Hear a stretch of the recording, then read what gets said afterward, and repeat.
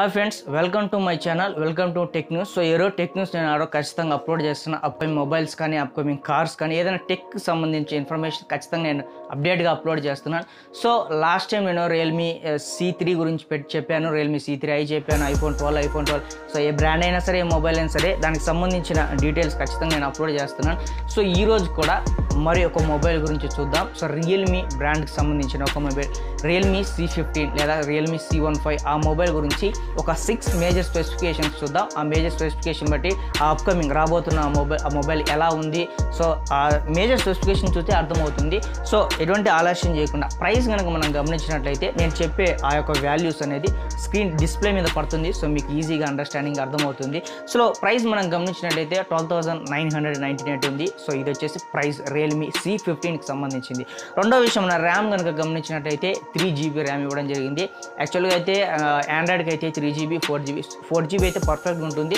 So ఇది వచ్చేసి three GB మీద ఫోకస్ చేయడం జరిగింది. ర్యామ్ వచ్చేసి. సో మూడో విషయం మనం మూడో స్పెసిఫికేషన్ మనం గమనించినట్టయితే కెమెరా స్పెసిఫికేషన్స్ కెమెరా డీటెయిల్స్ కనుక గమనించినట్టయితే నేను బ్యాక్ కెమెరా గురించి చెప్తున్నాను. తర్వాత ఫ్రంట్ కెమెరా గురించి చెప్తాను. సో బ్యాక్ రైర్ కెమెరాలో ఇది వచ్చేసి డ్యూయల్ ప్రైమరీ కెమెరా డూ టూ కెమెరాస్ ఉంటాయి.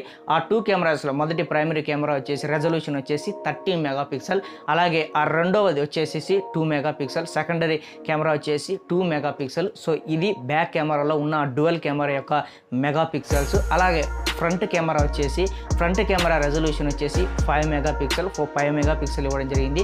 ఇది మరి కెమెరాకి సంబంధించిన డీటెయిల్. ఒకసారి కనుక మనం డిస్ప్లే గురించి కనుక మాట్లాడుకున్నట్లయితే సో డిస్ప్లే గురించి దాని యొక్క పిక్సెల్స్ నేను చెప్తాను. దాని యొక్క పిక్సెల్స్ ఎంత అంటే seven twenty into sixteen hundred pixel. అలాగే యాస్పెక్ట్ రేషియో వచ్చేసి twenty is to nine. So యాక్చువల్గా నేను చెప్పిన మొబైల్స్కి అయితే నేను ఎక్కువ గమనించి సిక్స్టీన్ ఈస్ట్ నైన్ ఒక నైన్.